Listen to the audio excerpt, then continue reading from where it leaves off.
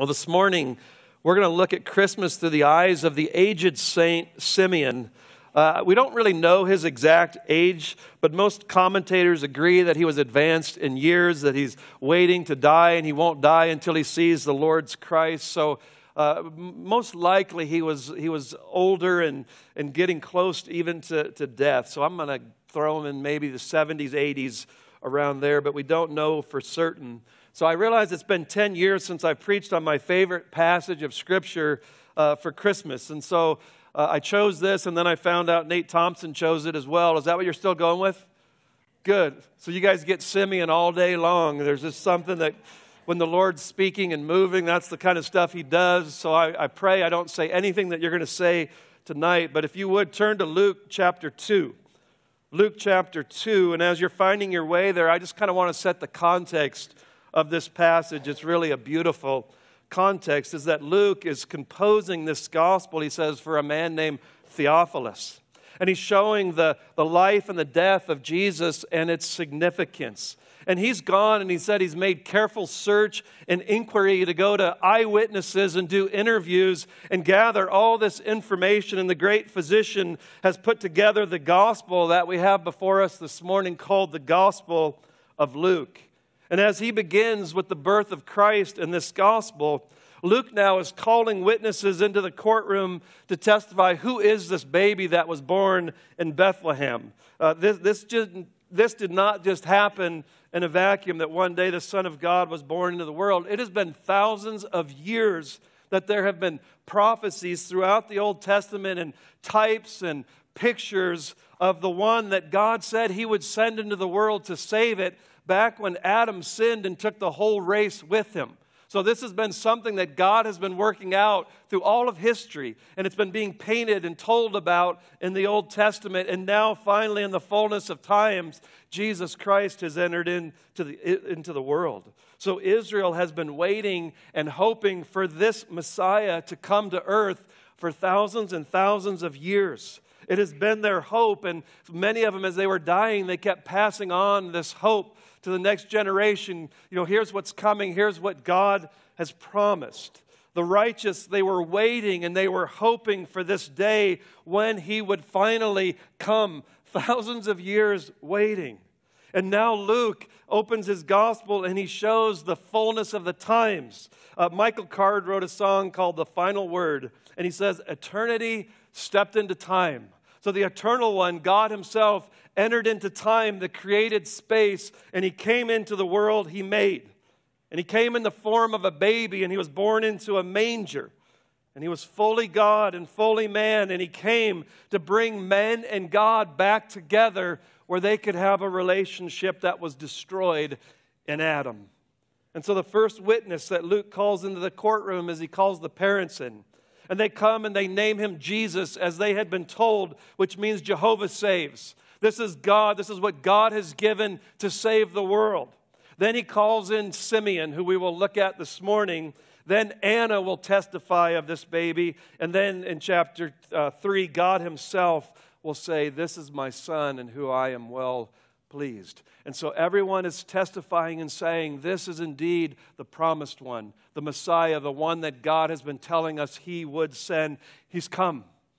It's happened. This is it. This is what you've been waiting for. Here's the climax of history thus far. So this morning, we're going to call our second witness then to the stand. And would the aged godly man Simeon please come and testify of who it was that was born that morning. So if you'll look with me in Luke 2 25 is where we'll begin this morning. And behold, there was a man in Jerusalem whose name was Simeon. And this man was righteous and devout, looking for the consolation of Israel, and the Holy Spirit was upon him. And so we know very little about this man up until now.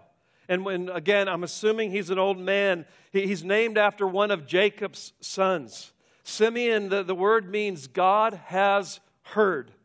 And I think it was a very fitting name as he was praying and he's longing for the coming of the sunrise from on high to visit and come and bring healing in his wings for the nations. And so he uh, has heard now, God has heard the cry of my heart and my prayers for this one. I think one of the things that Luke wants us to get then from this man was his character. And he begins there in verse 25, and he says that he was righteous and devout. So he was a man who was seeking God, he was living for God, he was devoted to God, and he was waiting and hoping for the consolation of Israel. He had his eyes fixed on what God had promised throughout the ages. And so it's been a long time. I want you to understand when Luke writes this, there's been a silence in any kind of prophet writing or testimony, miracle. They've seen nothing for 400 years. America hasn't been in existence as a country for 400 years. So picture the whole history of our country. You've heard nothing from God. You've seen no prophets come on the scene. All you have is this old, old promise.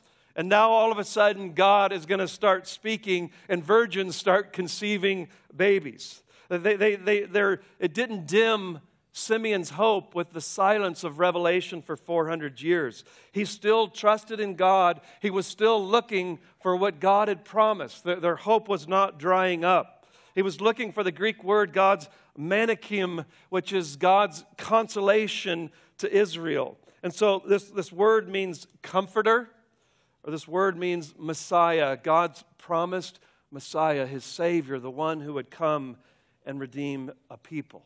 And so Simeon's looking for that. So, what did the Spirit tell Simeon? I want you to look with me in verse 26. And it had been revealed to him by who? By the Holy Spirit that he would not see death before he had seen the Lord's Christ. Simeon, you are not going to die until you see the promise that I have made and been saying that I would send into the world. Could you imagine the joy of this aged man all of a sudden 400 years and, and you're not going to die until you see the one that I've been promising. And so now there comes a day now when promise is going to meet fulfillment. And that's the day in our text that we're looking at. As I, I just can't overemphasize the beauty of what's going on here in the history of the world. Eternity has come into time, and now promise is meeting the fulfillment. And look with me then in verse 27. In verse 27, so Simeon then, he came in the Spirit into the temple. And when the parents brought in the child Jesus to carry out for him the custom of the law. And so the Spirit led Simeon uh, to the child named Jesus, and he walks into the temple and he takes this baby and he takes him into his arms, and he's now holding God's manikim, He's now holding the comfort that was promised, the Messiah. Simeon takes him up in his arms, and he had been waiting for so long, and here he is. Now he holds what has been promised of God for these thousand years. This is the history of this whole nation. This whole nation, their history has been built upon this promise, and now Simeon is holding the Savior of the world in his arms. And he did what we all should do says he worshiped God. That is the only response to God's Messiah. God sending his own son into the world to redeem it. The only response is to become a worshiper of a God who would do something like this. And look what he said in verse 28. So he takes him in his arms and he blesses God. And he said this Now, Lord, thou dost let thy bondservant depart in peace according to thy word. Let me go now in peace. I can die in peace. Why? For my eyes have seen thy salvation. In the Greek, it's, it's a definite article which means the salvation. This is the salvation that has been promised and prophesied. Let me die in peace now because my eyes are looking at the salvation. I'm looking at what you have promised. This is what you've been saying. This is what God has done. The object that I am holding, I like the Greek word, it says this is God's soterion. It's where we get the word soteriology, which means the study of salvation. I'm holding God's soterion. This is what God promised to bring about a salvation to this world. I'm holding this in my arms the promise, the fulfillment, the soterion of God. Simeon is looking at Jesus now by faith. And he's, he's not looking at the temple. His hope is no longer, it's not in a temple. He's not looking at all the sacrifices that are going on in that temple. He's not looking at the ark that had the tablets of stone to, to, with the Ten Commandments. He, he, he's not looking at his own strength. He's gazing at a little baby. And he's gazing at this little baby, which is God's salvation. And he says there's salvation nowhere else. This is the salvation. You can't find it any other place. There's no other name under heaven which God has given that a man may be saved. This was God's answer to man's problem. Here's my answer the soterion. And he's holding it and he looks nowhere else but to this child. He alone is salvation. This is what God has provided. There is nowhere else that you will ever find salvation. This is God's gift to the world. He loved it so much that he gave his only begotten Son.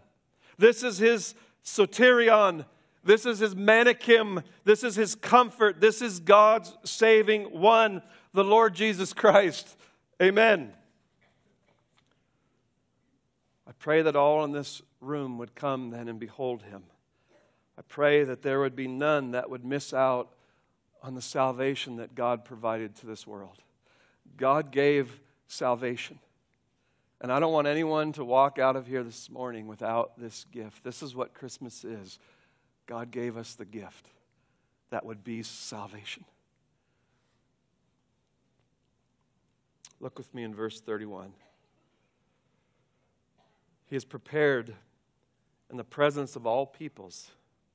And so this one will be a light of revelation to the Gentiles. He will open our eyes to salvation, and all the nations now will know of this gospel. And he'll be the glory of thy people Israel. He'll be what you've been waiting and looking and longing and hoping for. This is the glory of what has been promised. And after all of this, look at Mary and Joseph's response in verse 33. And his father and mother were amazed at the things which were being said about him. They're, they're amazed. They, you know, they've seen angels. Mary had an angel come and tell her she's pregnant. You're going to have the Son of God. She conceives by the Holy Spirit. She has shepherds come and tell her of the amazing things that they have seen. And now she comes, and Simeon says this, and she is amazed. With each revelation of Christ, they just keep sitting there being amazed at what God is doing. And I ask you this morning are you amazed? Are you amazed? Do these things hold joy and delight in your hearts? Are you amazed at what we're looking at? this morning. So, what I would like to do, that's introduction. And if you're visiting, I'm known for long introductions. I'm sorry. Uh, I want you now just to sit back because it has been so busy. And, and I just want you to look. And I want you to look at what Simeon was holding that morning, afternoon, evening. I don't know when for sure, but I want you just to look at Jesus. So we're going to have a simple outline, just four ways that we're to look at Christ. So just look this morning. Luke shows us four ways to look at Christ. So I want to look first. Take, take a lone look at Jesus, take a singular look at Jesus. Take a steady look this morning at the Messiah. Most this Christmas will not do this. Most have busy lives and they're just trying to survive and they don't take downtime to be still and know that He's God. And they won't slow down and just look. They'll, they'll sing hymns and they'll write cards and have parties and gifts and have t shirts that say, Jesus is the reason for the season, and they won't stop and take time to even look at Him. He was the focus of everything that Christmas morning. Simeon, everything now is lesser. Nothing else matters but this baby that he's holding in his hands. Uh, Zacharias is, is now worshiping. Elizabeth is worshiping. Mary, the angels. All this is about is Jesus Christ. You look at Luke 1 and 2, and there's this diamond that everybody is looking at and singing praises and worshiping. It's Jesus Christ the Magi and Anna, they're going to all keep coming, and the focus of all of them is the Lord Jesus Christ. He is the focus of all of Revelation. He says, Everything that was written has pointed to me. He's the focus of all the apostolic preaching. We preach Jesus Christ and Him crucified. He's the focus of heaven where they adore and worship the, the, the uh, uh, crucified Christ for eternity. He's the focus of the last day. When he comes, all will see him. There is nothing more important than a steady look at Christ. Look at Christ. In him, there's no sin or defect. There's no darkness, there's no stain, there's no fickleness in his love that goes up and down. There's glory and there's excellence. Look at Christ. He's full of grace and truth. He's full of forgiveness of sins. He's full of eternal life. He's called the eternal life. And I give that to all who come to me. And so this morning, I'm asking that you would be like Simeon and you would look blinded to all rival attractions. Everything that's been gaining your vision and your heart, just this morning, let nothing else be there. This is not window shopping. This is Christ is ours by faith, and He wants us to take a lone look at Him this morning. Look at nothing else but Christ. Give your eyes, look this morning, a lone look, a singular look at the Lord Jesus Christ. But there's another kind of look that I want to ask you to take as well this morning is I want you to take a spiritual look at Jesus because many are going to look at Jesus this season and he'll do their souls no good at all. You might be sitting here this morning uh, looking at Jesus and he will do your soul no good at all. It, it, uh, that's not sufficient just to look. You need to look at Jesus spiritually. Three times in this text this morning, he says the Holy Spirit. The Holy Spirit led Simeon, the Holy Spirit led Anna. And so, Jesus, I want you to catch this. I was raised differently. He didn't have a halo around his head where everyone's like, whoa, and the lights are shining in on him. No, no angels were even singing above him. There's this little six week old baby that was brought into a temple, and he looked like every other baby that morning. Nothing different or impressive to look at him. He's just another baby as parents are making the sacrifices for the firstborn children.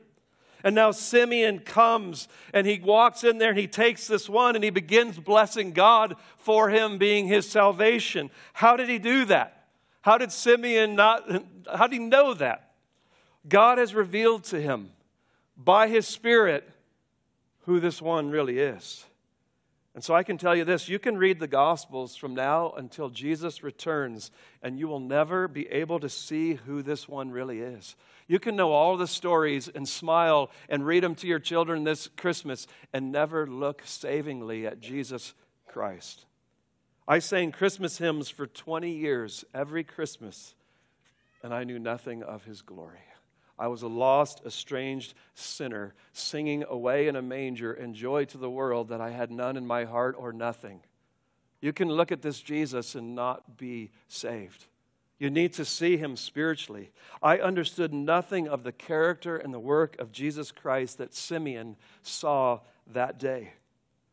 And so I ask this morning that you would take a spiritual look at Jesus. I want you to go beyond the externals of the facts and the songs and all the presents and the hoopla. He was not just a good man. Please don't miss that. He was not just a good teacher. Jesus was more than an example. He didn't come to be an example, He was a redeemer. He came and He went into death for me, and He died on a cross so the justice of God could be satisfied for my sin and he died to ransom me from the bondage of my sin and death, and that the devil held over me in, in absolute control and dominion. He came to break that bondage, and he came to be a ransom to set me free and redeem me to God. And so, religion is what you have to do to save yourself. And you keep trying to do things to get yourself saved, but the gospel is what he has done for you and that's what Simeon was holding the one who would do everything to bring about salvation. And I need to be able to look at Christ and see that it is finished. Everything that I need for my salvation is in that Son of God. Simeon takes a spiritual look and he sees the glory of God in that little baby. And he says, This is my salvation.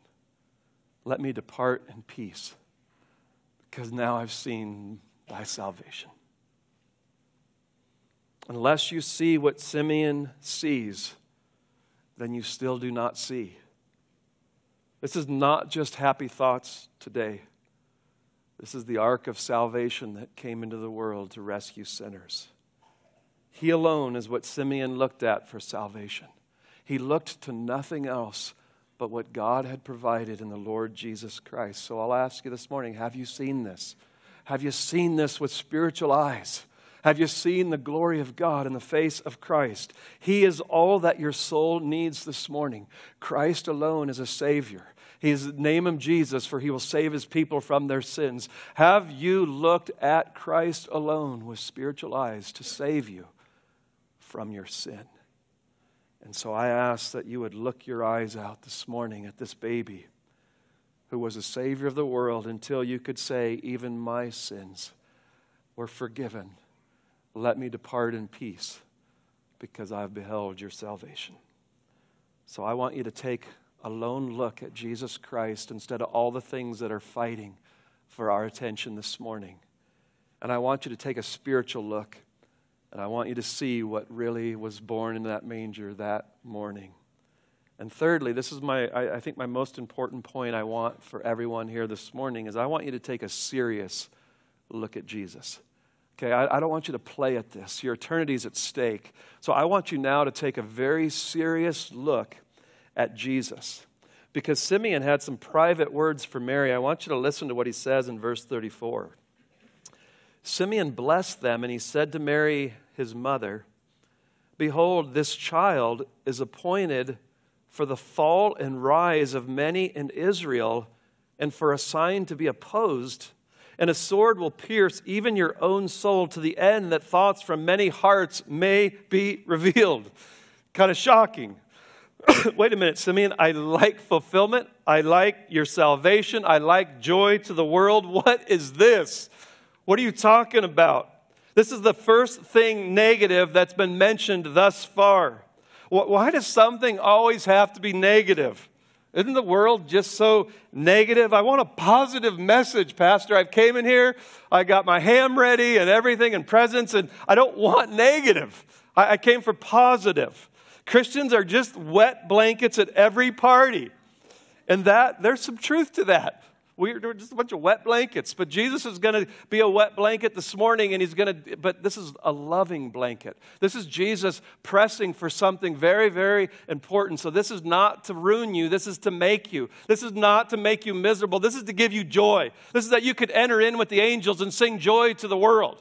So I'm telling you, I am not trying to make you miserable. I'm trying to bless you with the soterion this morning. But this truth has to be dealt with.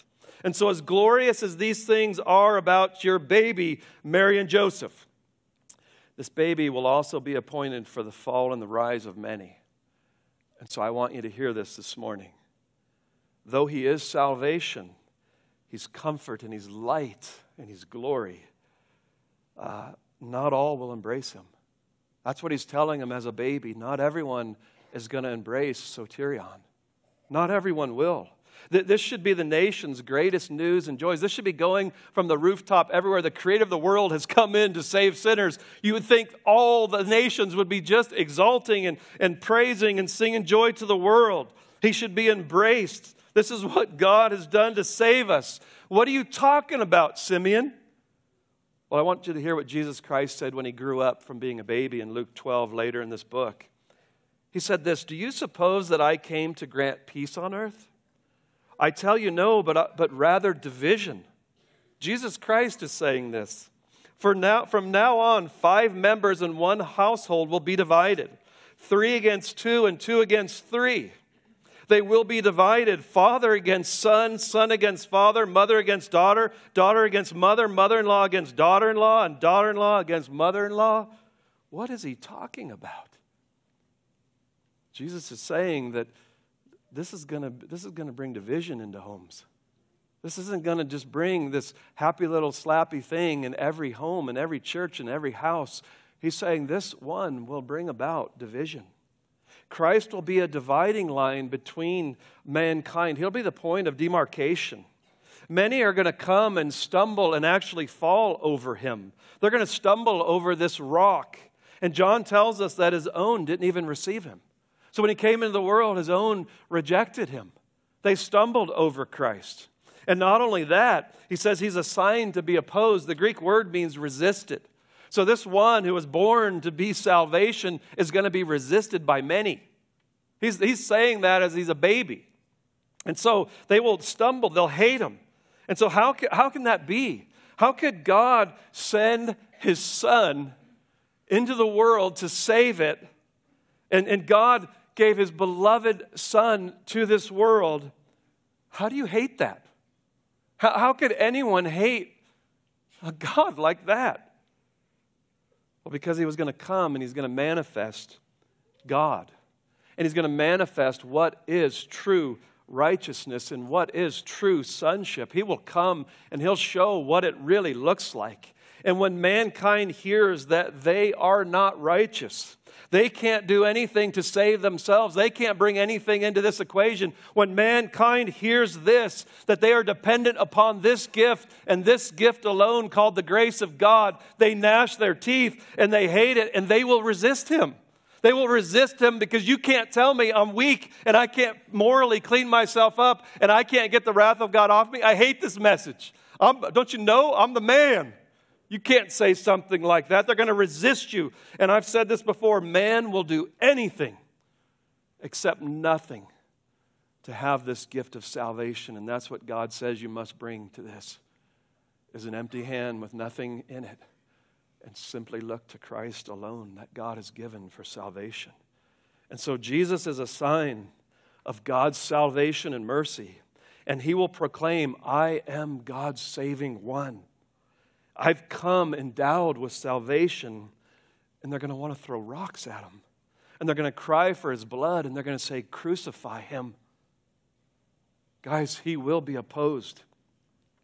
But not if we make him a warm and moral guy accepting of everybody and non judgmental. That's what our whole society is doing. That's where they've moved this gospel. And that might be doing what you're doing this very morning in your own heart. But if you set him forth as he truly is, that he alone is God's soterion, and that you're bankrupt to do anything to commend yourself to God. And apart from him, Jesus said, you can do nothing. Jesus said, Unless you believe that I am He, you will die in your sins. Men will hate Him, and they'll hate you for that message. Christ is going to cause conflict. It was promised and prophesied. But what about the song Peace on Earth? That's the peace that Simeon has, and that's the peace that I'm trying to lead you to this morning if you do not have it. Jesus comes and he says this Simeon says, Jesus is going to be a great divider and he's going to divide people. There's going to be conflict between people, and he's going to divide hearts. You'll have a conflict within your very heart. And so I just want to look at those two things and we'll close out. Is he's going to bring conflict between people. In verse 34, uh, he said, Behold, this child's appointed for the fall and rise of many in Israel, assigned to be opposed. He's going to cause you to rise or fall. There's no in between. He, he, he's going to be divisive. And the reason being is there's, there's a repulsiveness to his claims, and why people will come, there's an attractiveness to his life and person. And so the repulsiveness of his claims is he comes and he says, I'm the Lord of Lords and the King of Kings. I'm the ruler of all. I have all dominion. I own you. You belong to me, and you can't stay neutral in that statement. You need to crown me or kill me. You, you got to surrender to me, or you're going to have to hate me and reject me and get me out of your conscience, get me out of your life. You got to deal with me. And there are many who want to just stay in the middle. As a pastor, I just see it all the time. I admire Jesus. I love his ethics. I love his morality. I'm just a good guy. And I love staying right there in the middle. But in this text, on the last day, whether it will be peace for you or eternal torment, will be determined by what you do with the Lord Jesus Christ. And so let's get to the point. Luke, Jesus Christ, the rich young ruler, comes up and says, What must I do to be saved? Keep all the, the laws. And he gives the Ten Commandments. He skips one, don't covet. And the rich young ruler says, I've kept all of these. And Jesus said, Go sell all that you have and give it to the poor, and then follow me. And it says he went away sad because you're not saved by selling your riches. But he knew this man's heart, and he said, You're going to have to give up everything to follow after me. And he went away sad. You have to love me more than your wealth. He says, If your eye keeps you from me, pluck it out. He says, If anyone wants to come after me, let him deny himself and take up his cross daily and follow after me. You're going to have to die to yourself if you want to follow after me. He demands our faith and our life and our love that He would be the supreme object. He either repulses you with these claims or you will embrace Him. And we can't lessen them. Please hear this and pick the ones that we like. There's certain things I, I want to pick about Jesus. No, that is the sword this morning. What is it doing to your very heart right now? Are you wanting to throw something at me? What are you feeling right now? Are you looking and saying, Oh, that's soterion. I'll give up anything that I might have it. There's a beauty to this Christ. I, I want him over anything. All to Jesus I surrender. Are you sitting here saying, Who is this loser who would sit and say, I'm not God and I have to surrender everything to this Christ my money, my hopes, my dreams, my life? Who is this guy? And it's going to divide and there could be some hearts right now being divided by this Jesus Christ. And so his claims will bring about division. But why would anyone then come to him? That's the second part is there's an attractiveness to his life. Do you know that many teachers claim to be Messiah or God even in Jesus' time? Throughout history, they keep growing and coming. I'm the Messiah. And you know what happens? They get a little small group and they all fall away. But Jesus Christ now has millions and millions all over the world following and worshiping him. How did he do it? How could he be different than anyone else who claimed to be God? Because there was a moral beauty to him like no one else. He manifested God by the miracles, the way he lived, the way he spoke, and the way he loved. No one could claim what he claimed about himself that he was God. He demanded adoration, and yet he was humble and he was tender, and he loved the, the harlots and, and the tax collectors, and he, he, he had a sweetness to him that was so attractive as he does this day. There is no one like Christ. What could have made the monotheistic Jews surrender their lives and worship him the rest of their days? What was the beauty of Jesus Christ? And Jesus will make you rise or fall. You will either see his beauty as Simeon did, let me depart in peace, or you, will embrace him and all of his claims on your life. Take my life, God, it's yours. Or you'll hate him. There's no in between. You can't straddle the fence and make up a God that you want and pick the parts that you like. I like Christmas. That's, that's a cute little story. I like that. You can't divide this up.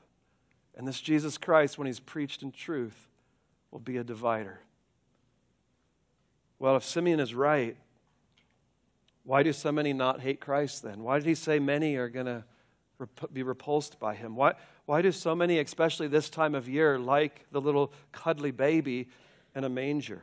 Why do churches explode at Christmas, except this one? Why so few? Why so few are truly surrendered to Him? Because here's it is most people are neither. What I've been watching growing in our country is most people are moderate. Most people just like to live right in the middle. And the answer then is that Jesus is a fabrication, he, he he's made up. He's, I remember when I took uh, a little gal, a little sweet gal, to build a bear. Um, and when you go in there, this is amazing. You get to pick all these little pieces that you want. I mean, you even get to pick, if you squeeze his tummy, what tune comes out or what he says. And just go in there and, like, okay, I like this. I'm going to build a bear. And some of you have done that with Jesus. I like this. Oh, I, I like this part. I, and you just have built your little Jesus like a build a bear. And you've got him now what you like and how he fits your life and how you can control him and use him for what you want. That's really what has happened in our day. So, is your Jesus a build a bear? Simeon tells us he allows no in between. And so the question is do you love Christ? Is he your only hope? Have you surrendered all to him? Have you truly come to him? Or as you sit here this morning, do you hate him? Do you hate his rule in your life? If you're in the, meet, in the middle, then you, the Jesus that you believe in is a fantasy. There's just that, that's a, that's a make believe Jesus. That is not the one that's revealed in Scripture. It's an idol. You, you made up a God that fits what you wanted. You made him just like you and how you want him. And I want to tell you, that'll never bring peace. That, that made up Jesus will never bring you peace. So, what is coming out this morning? The true revelation of Christ and his words, they, they demand a response. And, and what Simeon and Jesus have said, there's only two responses. You need to accept God's soterion, and you need to surrender to Him as the only way of salvation. That is the only response that will get you eternal life. And the other is you, you're going to reject Him. And your rejection can be cloaked in morality. I'm just a good guy. I've, I've, the little guys that ring the bells, I put five bucks in there. I've sent presents to kids in other countries. I'm just a good guy. And you can cloak yourself in morality, and morality is rejecting Jesus Christ. You can reject him with just nice thoughts and pleasantries. You can enjoy the stories about Jesus. I like all those stories when I was a kid growing up. I can sing songs that remind me of my childhood. I can light candles and do all of these things, and, and that can be rejecting Jesus because of your morality. And so the, the, the, the driving, dividing line this morning is what are you going to do with what God gave to this world? He is salvation. And uh, am I going to accept and surrender and believe and look to this alone? Or am I going to keep looking to myself and what I want Jesus to be and what I want my life to be? Because this one will never bring peace with God. It'll never get peace into your own heart. And this one will bring you peace with God and peace in your heart and peace with other people. So, what you do with Jesus Christ will affect all of eternity. That is the question this morning. What have you done with the Lord's salvation? So, what I'm asking is, I want you to take a serious look this morning. Take a serious look. What has this Christ done in your heart? Have you dealt with the real Jesus that's revealed in this scripture, or have you built a bear? It needs to be answered before God, who knows your heart better than you do. It says your secret sins are done in the light of his presence. There's no, this is the God who knows. And you need to answer that question before the God who knows. And the fourth look I want to close with is you need to take a, a singular look at Christ. You, you need to take a spiritual look and then you, you need to take a serious look. And I want to just close with take a saving look is I want you to have a Merry Christmas. I want you to be as blessed as a man or woman or child could possibly be. I, I want you to take a saving look this morning. What Simeon did is he took that baby in his arms and he received Christ. He embraced him as Savior as he held him. It's faith that receives the Redeemer. He is not just recognized, but he is embraced with your whole soul. Your whole being embraces him. He is the divinely sent Savior from my sin. By a saving look at Jesus, you'll be saved. And all he says is, I just want you to look. Look upon me and be saved. Look at me in the way that we have just seen and be saved. In John 1:12, but as many as received him, to them he gave the right to become children of God, even to those who believe in his name. And so, my desire is that every eye eh, would look and see what Simeon saw that day, and that you would receive the indescribable gift of eternal life in God's soterion. Simeon held him in his arms as he leaned on the everlasting arms. And, and he fell into the redeeming arms of Jesus Christ that day. And so, what you need to do this morning then is look at a cross because this baby lived a life that was a perfect life. And he lived a perfect life so that God could now give that to you. So it's not you going and living a perfect life. Jesus lived a perfect life, and, and by faith, He will give you that. And then there's consequences for sin. God said the soul that sins must die. Your sin has to be punished, it has to have a consequence, or God is not holy and just. And so God took this baby, He gave it to the world, and He put it up on a cross. And He put the sins of His people on that child. And He pulled out the sword of justice, and He didn't spare His own son. And He poured it out upon His own son, the wrath of God for sin, so that now you could be forgiven of all of your sins. Would you look at Jesus? Look at Him God gave him to be your salvation. Look nowhere else. Look at nothing else. And look only to the Lord Jesus Christ. And then you'll have a Merry, Merry Christmas. And you'll have a Merry, Merry life. And you'll have a Merry, Merry eternal life. To God be the glory for salvation in Christ alone. If you uh, want to talk afterwards, I'm going to be up front. And I want you to have a, a Merry, Merry Christmas by having peace with God. God gave you soterion. Don't reject it. Let's pray.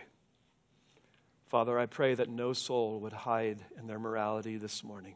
I pray that you have pulled back the curtain of cleanness, of the funness of Christmas, all the songs and the garb that goes with it. I pray that you have pulled it back that every soul in this room now knows that they need a salvation. You would have never sent a Savior into the world if we could have done it ourselves. You would have never killed your own son if we could uh, work ourselves into your presence. So, God, we worship you this morning because you are the one who has given us salvation.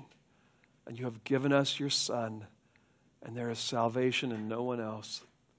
God, let every heart receive him prepare him room. God, let every heart come now and adore him. Come, let us behold him. I pray that you would grant salvation to every soul in this room so they could have the merriest of Christmases. God, may this be their first one where their eyes actually behold and see the glory of God and the face of Christ as a Savior. Lord, we thank you for Simeon and what you recorded through Luke that blessed morning. And God, now we can depart in peace. We can die and be at perfect peace because we will be brought into your presence for all of eternity. God, give that peace to every soul here this morning. We praise you. Blessed be the name of our God and Father, of the Lord Jesus Christ. Amen.